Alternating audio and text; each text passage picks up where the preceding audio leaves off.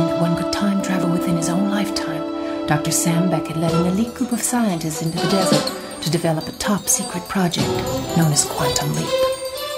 Pressured to prove his theories or lose funding, Dr. Beckett prematurely stepped into the Project Accelerator and vanished.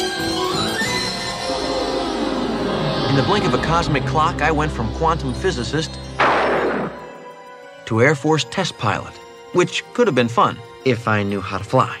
Fortunately, I had help. An observer from the project named Al. Unfortunately, Al's a hologram, so all he can lend is moral support. Anyway, here I am, bouncing around in time, putting things right that once went wrong. A sort of time traveling Lone Ranger with Al as my Tonto. And I don't even need a mask.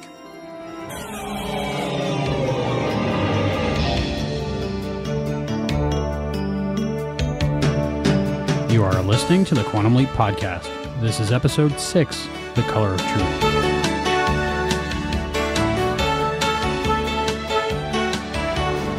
I didn't know exactly where I was, but it was obviously too far south to be a black man. Jesse! Jesse Tyler! You come over here this instant! Maybe all I'm here to do is help a little old lady across the street. You're a black man in the South in 1955. Trust me, that is dangerous. I'm black.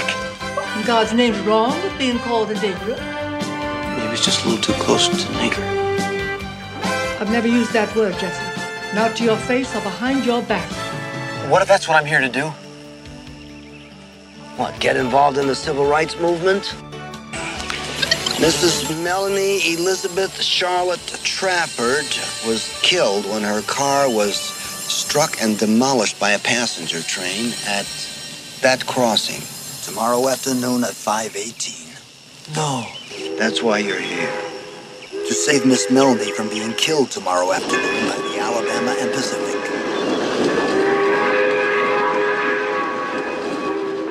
And welcome back to the Quantum Leap Podcast. I'm Albie. And I'm Heather. We're glad to have you with us today as we talk about Quantum Leap, The Color of Truth. So, Heather, uh, first impressions. This was a serious issue episode. It wasn't very lighthearted. No, there were lighthearted moments in there, which surprised me, but it was uh, dealing with an important issue.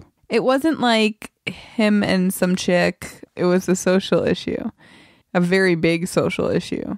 To be a black man in the 1950s is a big deal. I still can't believe he sat down at the counter and didn't know until he was like, whoa. Well, like you said, I was hungry, so I sat down and figured I'd have something to eat. It's crazy because in our lifetime, it hasn't been like that. Thank goodness. I know, I know, but to to look back, I just can't even imagine. Yeah, this episode, as I'm watching it, uh, a lot of uh, shock, dismay, realization of that's how it was, and it's a good thing they did this. Yeah, especially for people like us who didn't experience the 1950s or, or segregation or the civil rights movement. I mean, we see the effects of it and we learned about it in history, and we have our own equal rights thing going on right now. But the, the different water fountains, the different entrances, the different seats on the bus, the riots, all that stuff we didn't experience. So it's it's nice to have like a glimpse into history. Right. We know about it, but we don't know about it. Right. Not as I guess not as scary as the Holocaust, but still as No, I would Bad. say I would say just as. yeah. Well, maybe it's just it isn't as it isn't portrayed as scary as the Holocaust. Maybe. Maybe history doesn't give it the gravitas it needs. Yeah. And uh, also, I wanted to say we're going to talk a little bit during the show different words they use, different sayings they use, different things they use to demean other people that the actor said because the story was important. And we might use those words in talking about what they said. We don't mean any ill will or anything bad because we're using those words, and we'll try not to. But if we talk about it, we have to talk about it. Right. We are for equal rights for everybody. Everyone. All right, Heather, episode recap, please. The Color of Truth, Season 1, Episode 7. Original broadcast date May 3rd, 1989. Written by Deborah Pratt, directed by Mike Vejar. Sam leaps into Jesse Tyler while standing at the entrance to a diner. Unaware that he is a black man in the Deep South during the segregationist era, he takes a seat at the counter to order lunch, prompting outcries of shock and dismay from the other patrons. Sam catches his own reflection in the mirror and becomes marveled that he has leaped into a black man. Two young thugs, Toad and Billy Joe, become riled with Sam's audacious action and threaten him with physical violence. Miss Patty, the diner owner, suggests Sam take the bag of lunch for his employer, Miss Melny, and leave at once to avoid bloodshed. Sam confers and leaves the diner. As he crosses the street, he notices an old lady summoning him. Sam deduces that this must be Miss Melny and walks over to hand the bag of lunch to her. Miss Melny is his demanding, though benevolent employer and well respected member of the community. She instructs Sam to drive her to the cemetery where she can visit the grave of her late husband, Charles Trafford, the former governor of Alabama. Sam feigns memory loss to get Miss Melny to direct him to the cemetery's location. Miss Melny becomes flustered by Sam's tomfoolery and gives him directions. The gravesite has been overrun by weeds. Sam offers to take out the weeds and discard them, while Miss Melny silently pays her respects. Al arrives in the cemetery and Sam boasts about leaping into a black man and how it opens up greater possibilities about the identities Sam may leap into in the future. Al, however, believes that Sam's position as a black man in the Deep South is dangerous and advises him to keep a low profile until he can accomplish his mission, saving Miss Melny from being killed by a passenger train while driving her car across the tracks the following day. Sam, however, believes his other mission is to advance the cause of civil rights in the town. Back at Miss Melny's home, Sam takes her groceries into the kitchen, where he is confronted by Miss Melny's brash son, Clayton. Clayton tells Sam that his decision to sit down at the lunch counter has upset the entire town and warns him against any further recalcitrant behavior. Clayton attempts to relay his message to Miss Melny, reminding her that her standing as a widower of a former state governor carries certain responsibilities. Miss Melny, however, is unconcerned by Sam's behavior at the diner and tells Clayton not to lecture her. Jesse's granddaughter Nell arrives at Miss Melny's home to collect Sam for the day. She drives him back to their house where they live with Jesse's son and daughter in law. Sam must fulfill one of Jesse's obligations and prepare chitlins for the upcoming church picnic. Jesse's son approaches him about Sam's sitting at the lunch counter earlier in the day, warning him that such actions will provoke a backlash in the community, which will in turn harm their family. Al agrees, saying that the town isn't ready to change their prejudices just yet. Sam disagrees, stating that he has every right as a black man to sit and eat lunch. They are interrupted by a female scream. Nell is out front staring at Billy Joe and Toad, who have just planted a burning cross in their front lawn. Sam approaches the sheriff about the matter. However, the sheriff, who is Billy Joe's father, dismisses the stunt as just a couple of boys being mischievous. Furthermore, he places the blame on Sam, saying that it was his decision to sit at the lunch counter which prompted this backlash. After the sheriff walks off, Sam angrily drinks from the whites only water fountain to cool off. He is seen by Billy Joe and Toad, who decide that he has gone too far and resolve to take more serious action against him in order to whack him back into place. Sam, meanwhile, resumes work at Miss Melny's home, attempting to repair her broken water pipe. They take a break and Miss Melny prepares tea for the both of them. Sam is about to sit at the same table with Miss Melny until she interrupts him. She says coloreds and whites are not allowed to eat together.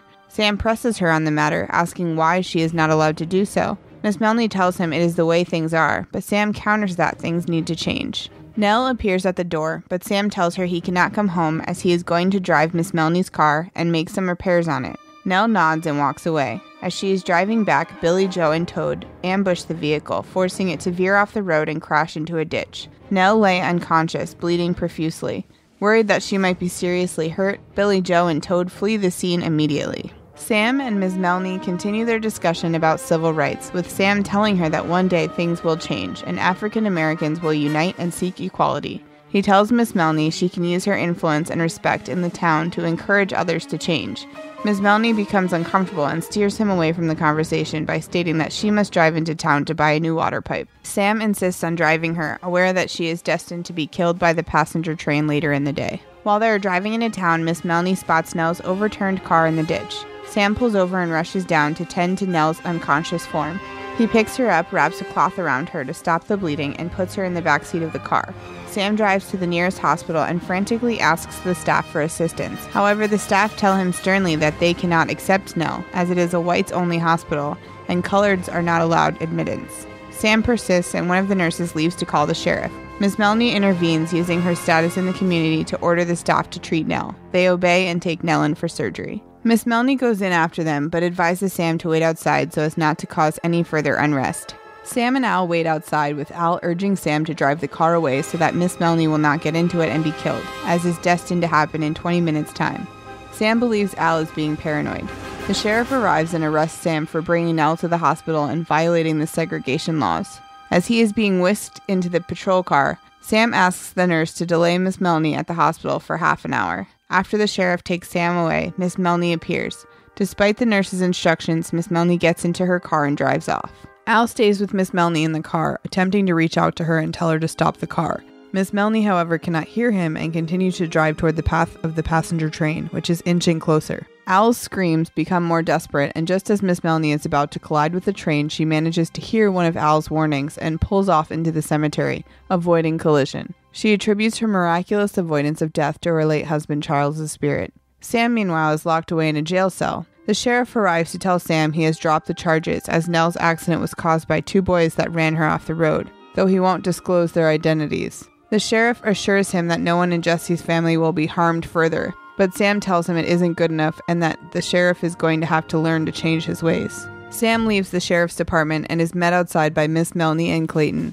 Clayton tells Sam he should still be in jail for his actions, but Miss Melanie tells him to mind his own business and be on his way. Miss Melanie tells Sam that Nell is in good condition and back with her own people. Sam says it was reckless and unsafe for her to be transferred while she was in such a critical condition. He tells Miss Melanie that this experience should prove to her the injustice of the town and how she can use her authority to effect positive changes. Miss Melanie, however, disagrees and wants things to go back to normal. She orders that he cease trying to change things and go into Miss Patty's diner and pick up her lunch like usual.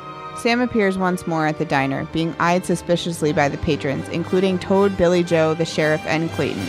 Sam collects the lunch and is about to leave until Miss Melanie appears and decides she will eat her lunch in the diner. She asks Sam to join her.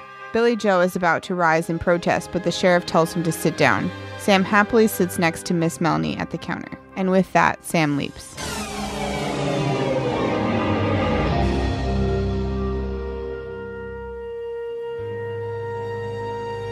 Thank you for that episode recap, Heather. And I'd also like to thank the Quantum Leap Wikia for that recap. So, this episode is basically Quantum Leap does Driving Miss Daisy. Does it surprise you that I haven't seen that movie? No, not at all. I know of the movie. I think I've seen like clips, but I haven't actually seen the whole movie. I saw it when it originally came to home box office, I want to say. So, it's Home been a, box office. Yes, it's been a while. It's been that long that you called it home box office the Yes. last time that it aired. HBO. But that's just on the surface. The story to this episode is very important and it's a good moral lesson for people that need that moral lesson. I'm thinking back then at that time, people that saw this episode when it aired on television, I hope it changed some people's opinions for the better. I think that people who feel that way to begin with usually don't change their minds, but it possibly gave people different perspective, hopefully. I credit Quantum Leap for a lot of my moral basis. Well, that's true because you watched it when you were younger. So I was very impressionable. I was learning wrong from right. I was a young teenager. It's a good thing that they played morality type shows while you were growing up. What would you have done otherwise? Play outside, forget that.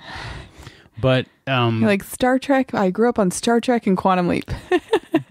it's a good way to grow up. Between Star Trek and Quantum Leap, I think I learned how to be a good human being and care about others and treat others with respect. It's a good thing. I actually wrote a letter to Donald P. Bellisario to tell him that. I actually played outside a lot. Oh, well, now you're watching Quantum Leap. Now I'm catching up. Yes, now you're catching up. This episode, this is the first episode that really has a message, moral, and meaning, and I almost feel unqualified to talk about this other than my own life and my own personal experiences to do with this. Besides the important morals, meanings, and messages in this episode, it's a good episode. It's uncomfortable at times for me to watch because of just I know the actors and the person who wrote this, Deborah Pratt, you know, they did this for a reason to teach people the difference between right and wrong and misconceptions that people have and prejudices and try to correct that. But still watching what went on back then, and this is way tamed down for television. I'm sure it was a lot worse than what we saw in this episode, but it's still uncomfortable to watch, if that makes sense. Oh yeah. I mean, to think of our country to be like that. I mean, it's it's hard to look at the people that are our ancestors and and our relatives let something like that happen. They I mean they what didn't know any better. I guess that's what they're pretty much saying in this episode. Well, I mean, that's that's what their that's their defense in this episode that they were born knowing that. They were like born ignorant. Well, that's what Jesse's son brings up that that they were born to think that way. But I don't think anybody should be born to think they're better than anyone else. Correct. We're all just people. Yeah, I mean, I don't I don't know. It shouldn't matter. Everybody's equal. Yeah, people are people. As a society, I hope that we're better now than I mean, as a whole we're better, but I'm sure there are still people who have altered opinions. I think in the United States, more percentages of people are more enlightened and better and better thinking, but you're always going to have the I don't know how to refer to ignorant people without being rude to them and prejudiced against them. So I don't yeah. know. You're always going to have people that think that they're better than other people for some reason or another. But I think as time goes on, people are they're they're getting better with respecting human rights. I think as the generations go, a lot of our older generations that were part of the segregation time and were a part of that still have some prejudice. Oh yes, I agree.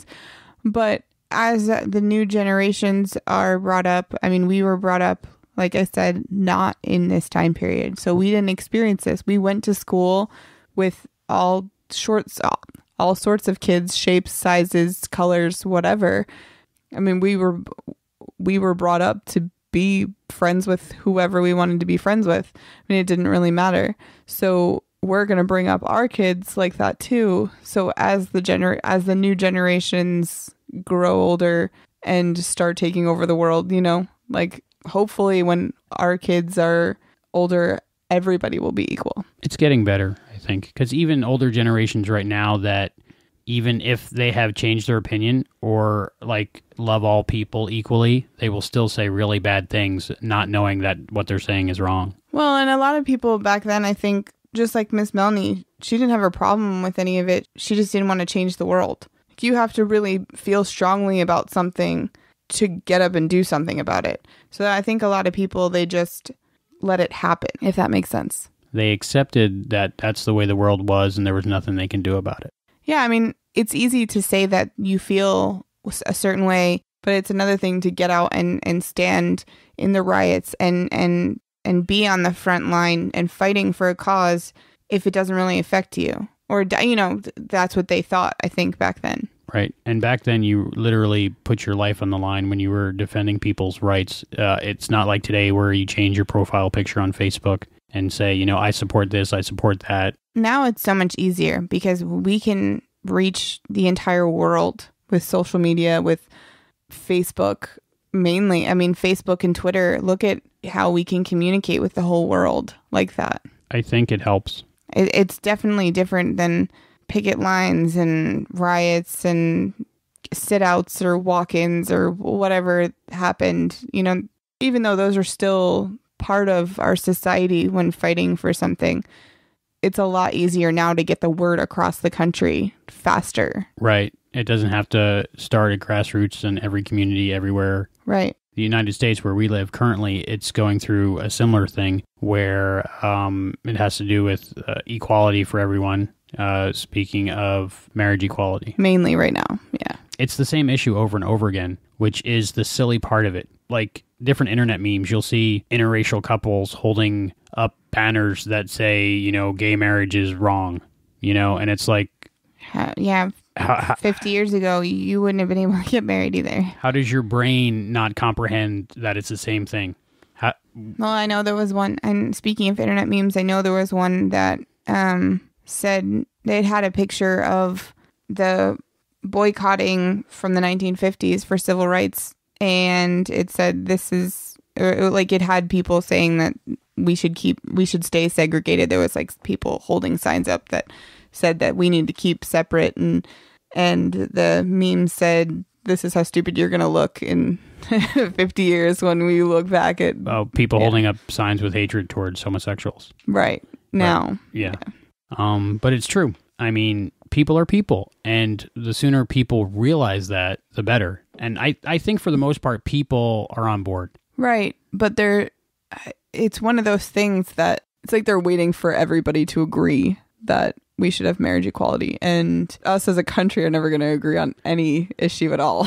Well, the problem is, uh, I think just because people have a voting majority doesn't necessarily make them right. So, well, duh.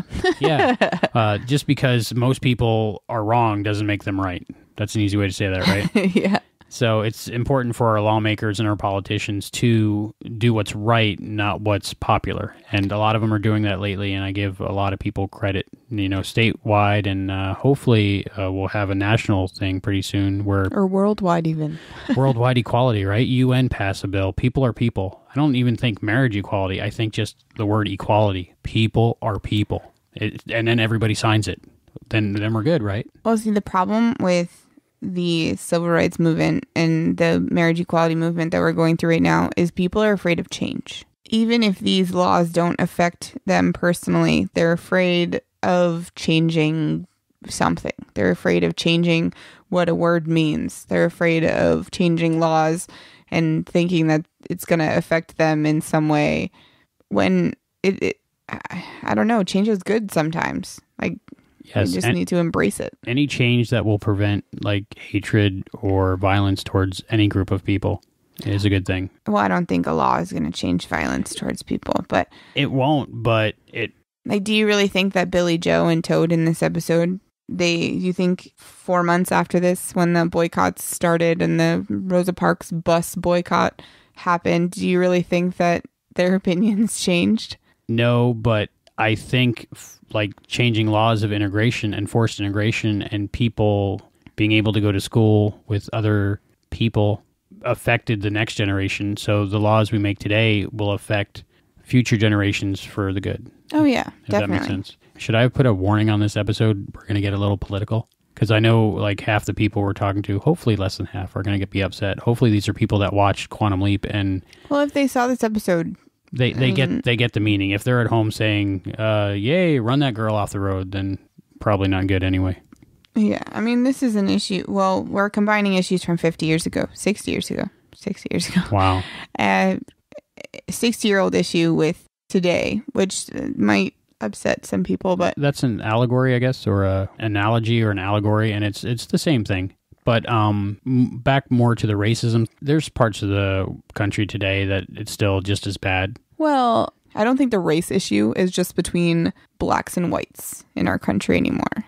I know that we have um, people that are get, that get upset if things are in Spanish and in English or things like that too. So I, I know that racism is still very prominent in our country, but the laws don't support racism anymore. which is a good thing. Yes, very much so. So we have come a long way. I mean, it has been 60 years. We have we have come a long way, but there's still a ways to go. Right. Um, I'd say we're on the good side of the times on the issue of racism. I hope so. And even if we are, I mean, there's no way to really know, but hopefully uh, there's going to be a point somewhere where we're also intermixed. I mean, America is such a melting pot of all these different backgrounds and ethnicities and nationalities that I'm assuming at some point we're all just going to be one big Yeah, mix. people. Right. One movie I saw about the future was the remake of The Time Machine. Really bad movie compared to the original, but it did have one good thing. Everybody in the future was the same mocha color, you know. We're all Which makes sense. together. It does make sense. Yeah. I mean, when people were separated by continents and there were no land bridges, you know, people look different. But now it's a global world and we're all people. Have I said we're all people yet? okay. So now we'll talk a little bit more about this particular episode after we got the big overall issue, you know, talked about. Out of the way. Yes.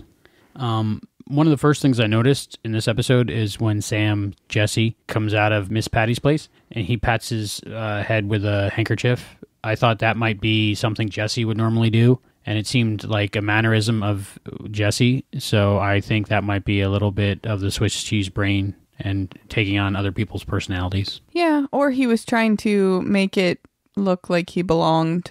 I don't know, but you're probably right. Yeah, he could be trying to just uh, get into character or assimilating as best he can. Assimilating. It's, uh, I didn't use it in a Star Trek reference. Oh, I just did right there. this was the first episode of Quantum Leap that he didn't have a love interest or a girlfriend or a possible hookup. Yeah, I wonder if they did those storylines with the women as a more lighthearted opening to the series, and now we're getting into the more s- serious issues. It'll be interesting to see how that goes. Yeah, I'm curious to see what the next episode is about because it kind of looks like a lighthearted one. It's called the Kamikaze Kid, and I think it's uh, about teenagers drag racing. yeah, it kind of reminded me of Grease a little bit. Yeah, a little bit, but Yeah. I don't remember it because I haven't seen it in twenty some odd years. Yeah, but I know that you know the answers to all my my questions, but I'm wondering how many of the serious issues they'll do. Like if they'll do a serious one and then a couple lighthearted ones and then I- another serious one. I And, think that's how it goes. yeah, that makes sense. Yeah. So you're not like go- jumping from one serious issue to another. You don't want to get hit over the head all the time with uh we get it right from wrong. We get it. well, it's some people don't, so it's important to watch these and learn right from wrong cuz I when I was young, I learned right from wrong. Did you learn not to drag race? I Yes. guess we'll talk about that next week. We'll talk about that next week, but yes, I did learn not to drag race. For a minute there while I was watching The Color of Truth, I thought to myself, is Sam going to hook up with Miss Melanie? But No. it, didn't happen. That's just wrong. This episode was written by Deborah Pratt, who is African American female and also co-producer, creator, kind of with Donald P. Bellisario of the series. I didn't realize that she had written this episode. I know that she was a producer, but I didn't realize that she had written it. I mean, I read the recap, but I mean before before I read the recap and told everybody that it was her. Yeah. So it might uh, affect the understanding or impression of the story when you realize uh, that an African American female had written this episode. That makes sense. I'm sure there were some stories that she had heard or experienced herself in there. Oh yeah. Speaking of Deborah Pratt, did you notice the evil nurse? Can I say evil nurse? Pig butt. Pig butt nurse is uh, like wearing a name tag and it says Ethel Pratt on it. So I wonder if that's a little homage. Probably because she wrote it. I would put my name in everything if I wrote stuff. Like everybody I knew would be a character, like character names. So this episode starts out pretty much after the whole egg salad sandwich incident. They go to visit the cemetery. Sam and Miss Melanie go to visit Miss Melanie's late husband, who's been dead for seven years. Charles Trafford. and this is the first time we see Al in the episode, and Sam and Al get a chance to talk. Part of it bothered me a little bit. What part? Um, well, Sam was so excited that he leaped into a black man, and he says, I think the line is, if he could leap into a black man, then the possibilities are limitless. I get what you're saying with that, that you're bothered because people are people and, and all that stuff. He's leaping into other people's bodies. Right. So, so far, he's leaped into white males pretty much I think so, about yes. the same age as him, kind yeah, of. ish. So now he's in an older black man's body. So his point, I believe, is that it can be any age, any color, any race, any anything. Uh, Like if they were going by DNA likeness or, you know, like somebody who looked like him, or I don't know how the process works because there's no really scientific evidence explaining it. But I don't think he meant it racist. Okay, I kind of took it as such. I, I yeah, I I realized that, but I I was looking at it as a because Sam's not racist at all. Not at all. We find out later in the in the episode that he's not. Well, even when he sat at the counter and was like, "I have every right, no matter what color I am, to eat lunch." Right. Um, so I don't think he meant it that way. It did kind of come off that way. So I kind, I, so I tried to look at it from a different angle, and so far he's leaped into white males around his age, with the exception of the boxer, I believe. He's a little bit younger. Right, and the dom I was probably a little bit older. The Right. mob but boss, basically white males up until But this point. I understand what you're middle saying. aged ish white males. So I think this was just a point he was saying. yeah, It can be any age, any color, any race, any country, even. You know, like I think so that he was, excited because of the possibilities and not mention it because he thought that black people necessarily were a totally different type of person than than white people. right. Does that make sense? It makes sense to me now, but at the time it just kind of made me feel uneasy. Right, and and Al's reaction was like, "So what? You're a black man." yeah, I, I'm much more with Al. Me and Al get along. Well, I just know what you were thinking while we were watching the episode, so I just tried to play devil's advocate on that one to try and find a different explanation because I don't feel that Sam is racist and wouldn't think of it that way. Like he was excited Yeah, he was definitely happy. He was smiling. Right. He was he's happy about it. And um, I guess from the perspective of it being a television episode, if you weren't going to mention color, then what's the point of the episode? Right. When Al said, "Yeah, so you're black. What about it?" Then I was like, "Yeah, exactly." And that also shows that in the future it's more accepting. I mean, if you watch any futuristic show, be it Star Trek or Which you know, which paved the way, by the way, for that. well, exactly. But if you watch any futuristic show, there's equality in the people on the ship or in the community or whatever that there there's no what is it Battlestar where everyone says sir or something like that? yeah, that. disregarding the gender. Right. So um that's kind of my Go- thought. Go geek cred right there. Battlestar reference. Yeah, I'm a geek wife. What can I say? I'm I'm a geek by association. No, I think I'm I think I'm now I have transferred over to the geek side. You, you're a TV talk show host on TV Talk. You, Yeah. yeah, you're full fledged geek. Yeah, when I start bragging to people that we bought our Dragon Con tickets, I think that A that year makes me- early. a year early. I think that makes me a geek. Speaking of, check us out at Dragon Con. yeah, if, if any of you are coming to Dragon Con, uh, look for us there. I know we'll probably remind you again closer to the date. yes, we'll either be wearing a TV Talk shirt or a Quantum Leap podcast shirt. Oh, we need some of those Yeah. with my headphone design Yeah, we got to get some for us. or some buttons or something to hand out. Buttons. I always Con. stab myself with those. Stickers. So then, so then Al says, "I've seen things that would curl your hair." So that bothered me again. Everything's bothering me tonight. I don't know why, but you know, he, he You're a little sensitive during this episode. I, I am. I don't know. I'm like, yeah, that's not nice and stuff. Um, but then you know, remembering who wrote it and why, and to teach people, then it's like, okay, it's a lesson. We got to learn a lesson. but again, like Al's not racist. Not so at all, because Al, you know, coincidentally was in, instrumental in the civil rights movement. And witnessed a lot of good people go down. He said. Yeah. Uh, this brings up another point that no matter where or when Sam leaps, Al has already experienced it and is an expert in that situation, like the chitlins. He's got a great recipe for chitlins. Well, according to him, it sounded like he grew up in the South, so that would be why. That, that would make sense. Have you ever eaten chitlins? no, it doesn't even sound like something. But I'm see, I'm from up north, so it's hard because I haven't really adapted Southern lifestyles. I've never had boiled peanuts or what are some other Uh, Southern I've eaten things. boiled peanuts. I've eaten grits. I've eaten mixed greens. I've uh, never had any of that stuff. greens, Uh, cornbread, uh, black-eyed peas, well, cornbread. all that stuff. I love. Uh, chitlins, I wouldn't touch them. I have not had any of that stuff except cornbread. Really, they're good. Uh, Cornbread's delicious. Chitlins might be great, but I don't want to know that I'm eating intestines. Like if I eat a hot dog uh, from a street vendor, you know, I'm probably eating intestines, but at least I don't know it. You're not thinking about it. Right. what gets me every time is I forget that it's within their lifetime. So I'm like, how was Al there? Oh wait, it's not that far into the future because I'm thinking like now is their time. Well, even now, this whole civil rights movement didn't happen that long ago. And in the history of the world, this is just a hiccup ago. Oh, I know. I mean, but I'm thinking futuristically. Like this Al's in the future and this was 60 years ago. So I'm like, how is he? But I have to remember that the future in Quantum Leap is 20 years ago for us. Whoa. That's confusing. but anyway, he was probably uh, uh, in his early 20s, late teens when he was doing all this. We should we should have a map and put a push pin in everything that Al's done and where and when and They're like, mm, how are you in Alabama in 1955? And, an in, astronaut training camp. and you were battling deer in Alaska at and he was time. in Vietnam and a prize fighter boxer. yeah, it's it's great that he just see. It would have made more sense if he was an android of some sort. Spoilers.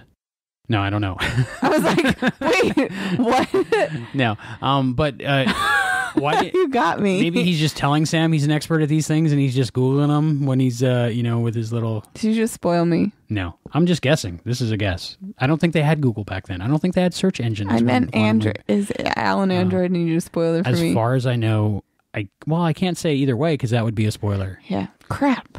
The whole reason Sam is there is to save Miss Melny from getting hit by a train, not to start a civil rights revolution. But then again, he did leap when he sat at the counter.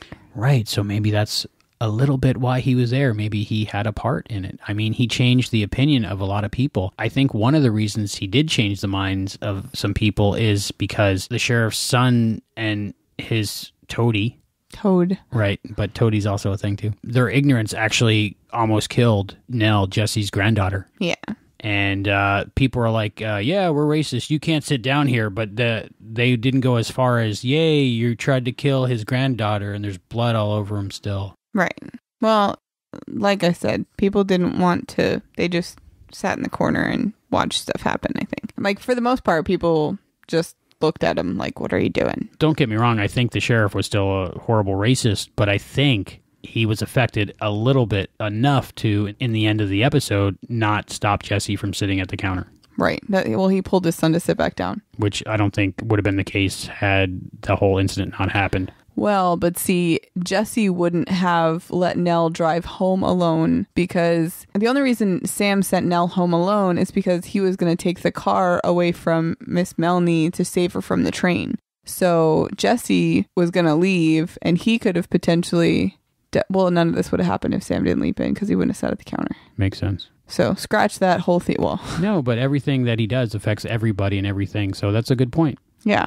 Nell drives like crazy. Why is she speeding that fast everywhere? Were there speed limits back then? I don't know. I'm thinking there should have been. There were no seatbelts again. Did Really? you notice? No, I didn't. seatbelts again. We have yet to have seatbelts in the episode, in one single episode of Quantum Leap.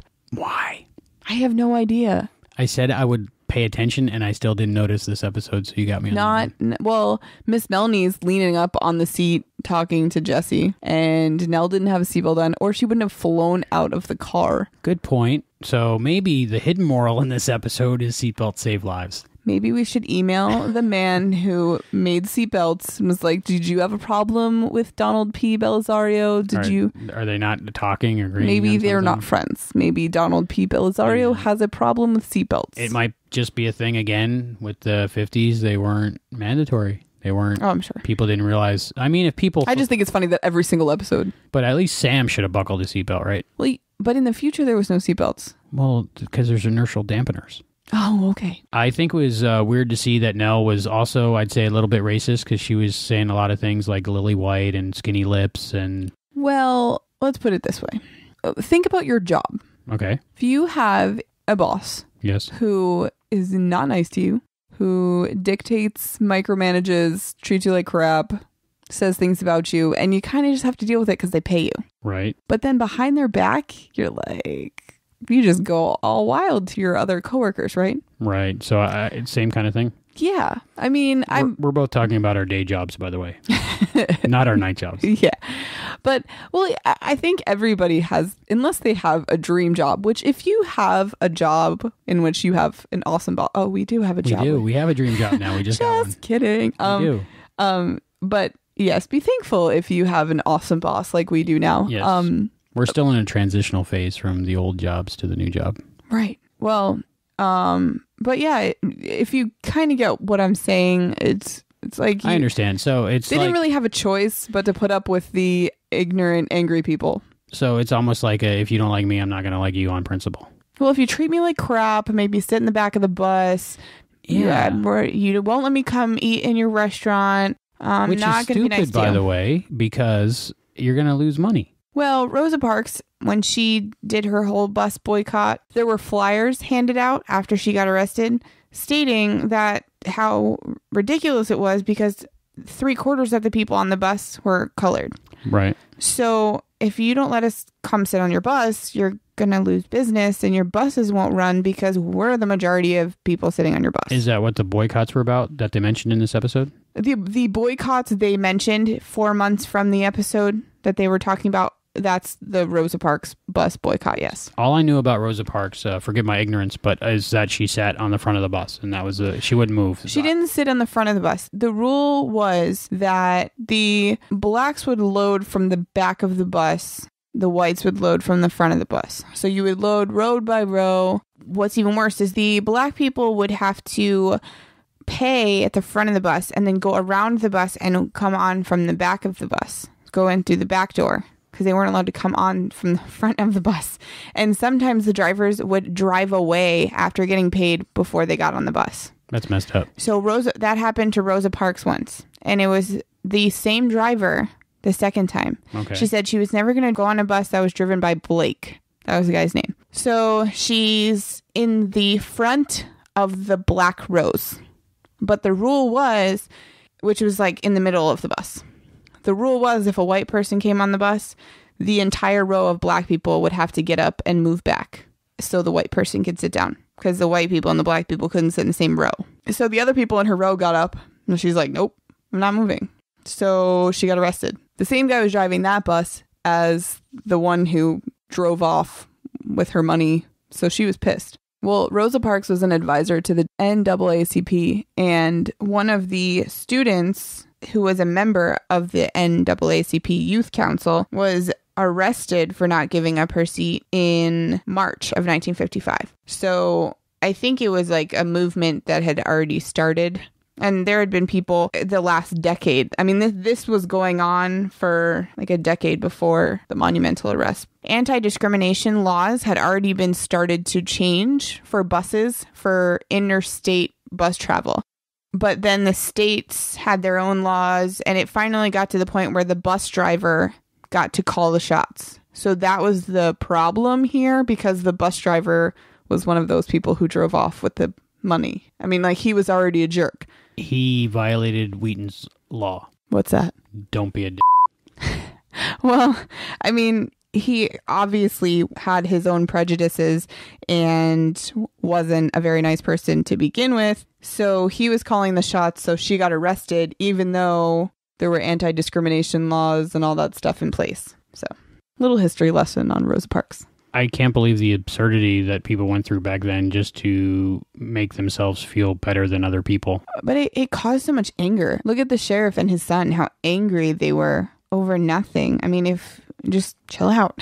So that was the Montgomery boycotts. well, it's technically called the Montgomery bus boycott. Okay. I was just uh, quoting Al. I didn't know so much. It was a seminal event in the U.S. civil rights movement. Speaking of Al, did you see those pink shiny pants? He was very colorful this episode. Yes. And uh, I think you mentioned uh, you liked his brown outfit, the brown and yellow one. The yellow reminded me of Dick Tracy. He had gold sparkly shoes on with it. It was very odd. Yeah. But he always has such flamboyant. I noticed they mentioned the Twilight Zone, which they had some episodes that had similar themes. So um, that might have been a little homage. When Sam's in jail and he's talking to Al and he's like, Is all you think about is sex? Because he was so excited that he got through to Miss Melny that he thought he could get through to other women, maybe younger women. And he admitted that all he thinks about is sex. Sam should know that by now. But Yeah. Sam just laughed. He was like, Yeah, I don't think he was very shocked. So, what do you think about Miss Melny's son? It's crazy that I was talking about generations learning before, and her son is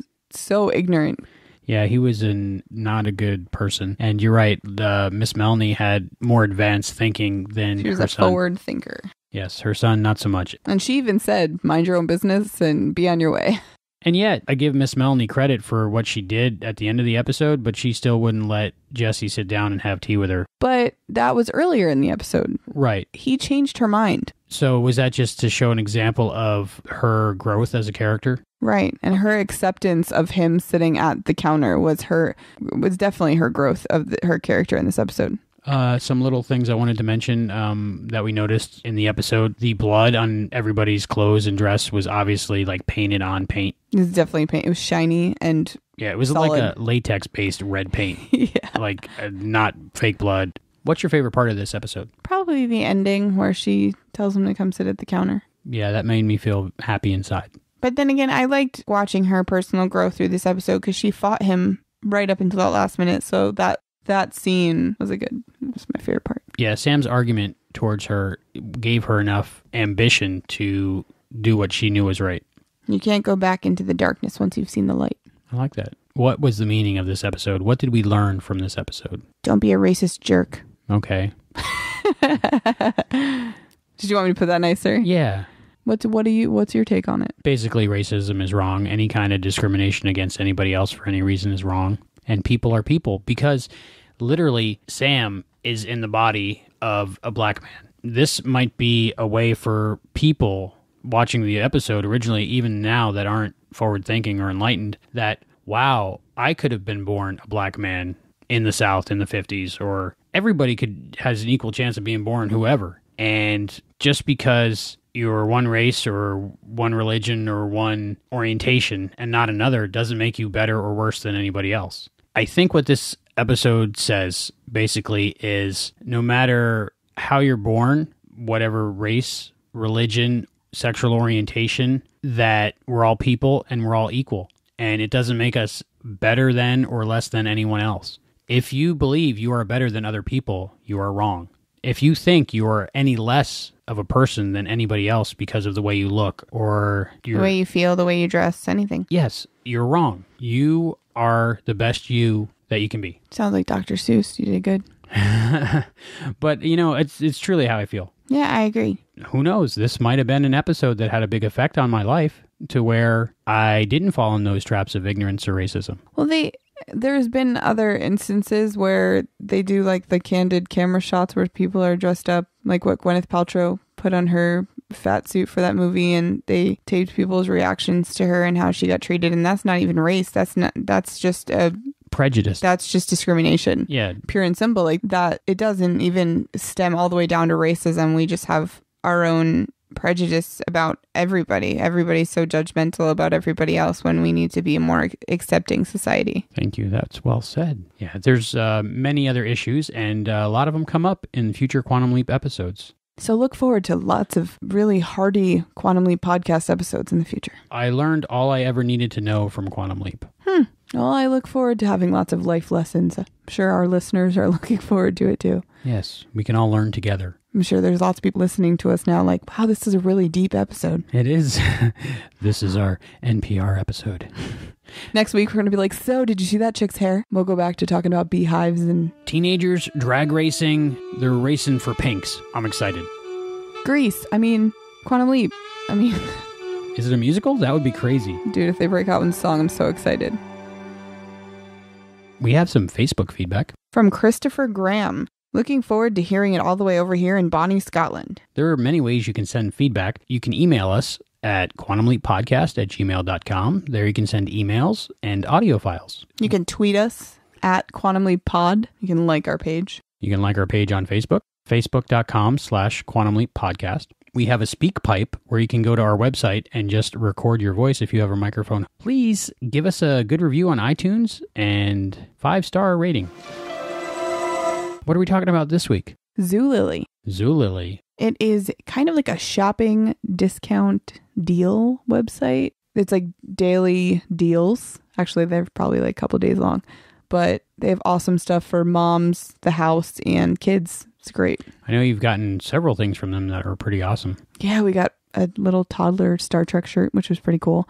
And they have lots of Disney stuff, toys, holiday stuff, Halloween costumes, Christmas decorations, Christmas outfits, What's- sweaters, scarves, jewelry, shoes. Got my daughter little skater shoes. Uh-huh. It's awesome. What's the latest thing you got from them? I got a pink tool set for my daughter. It's from recycled plastic, but they're like pink, purple, and green little screwdrivers and hammers. Really good deals on this website? Oh, yeah, it's usually like half price for all their stuff, and you guys get a pretty good deal. So, how can people find out more about Zulily? On our website, you can click the banner or you can go to quantumleappodcast.com slash Zulily and find out more information there. How do you spell Zulily? Z U L I L Y. Thank you very much. Zulily, I'll check it out. We were doing things in the first season that, as television goes, you don't get to do very long. But for instance, when you go and look at that at this episode, um, "The Color of Truth," the diner scene, um, we built two diners, and the diner on the other side of the mirror, there was a huge mirror over the the the counter. And the diner on the other side of it was the mirror opposite, the direct opposite, to the point of the buttons being sewed on the opposite sides of the uh, shirts, the lettering on the on the shirts and everything being back. You know, every detail was put into this other full room. The extras, the e- double extras, everything, so that when I walked in and sat down at the counter, he walked in and sat down in the counter in the other set across from me. And you could see, and the, how they shot it, you could see me, and you could see him walking, sitting down, and to his right was a guy in a sailor suit, and my right, and it was it was amazing stuff. But it took forever. Next week, Sam leaps into 1961 into the body of Cam Wilson, a pimply teenager. Yeah, he's got some pimples. Imagine going back to 1961 and being 17 again. I'm a dork. Bring your wheels to the drive-in. Chocolate chicken and cherry coke? Sam returns to keep his sister from a brutal marriage Did Bob do it? No, he didn't. Don't lie for him. and teach a future superstar how to moonwalk. Quantum Leap Wednesday. And remember to check us out on tvtalk.com and the TV Talk app. We are currently hosting The Vampire Diaries and Castle. Yeah, they're only 20 minute shows, so you get a little glimpse of our, of, you get to hear our voice a little bit Yes, a couple times a week. if you miss us in between Quantum Leap podcasts, you can hear us at least twice a week on tvtalk.com. Even if you don't watch Castle or Vampire Diaries, there's about 60 other shows on t- the TV Talk app. It's a great, great place to uh, find your TV podcasts. And we're not just saying it because we're on there. No, it's great, and the app is really cool. And especially if you always want to leave a like voicemail, and because they have a just a little button that you have to push, it's real easy. That wraps it up for this episode of the Quantum Leap podcast. Please join us next time when we'll be talking about episode 8. We're almost at the end of season one. Yes, we almost made it through a whole season. There's a couple more to go, and uh, hopefully you'll be along for the ride. I'm Heather. And I'm Albie saying, always remember to obey Wheaton's Law. We'll see you next time. If the truth be known, once I got into it, quantum leaping turned out to be a lot of fun. So far, I've been able to save two lives, one ball game, and a pig. I fought for the faith of a nun and against the mob. Put together three couples, a father and daughter, and the lyrics to Peggy Sue. Like I said, stepping into someone else's shoes can be a lot of fun. B8. Bingo.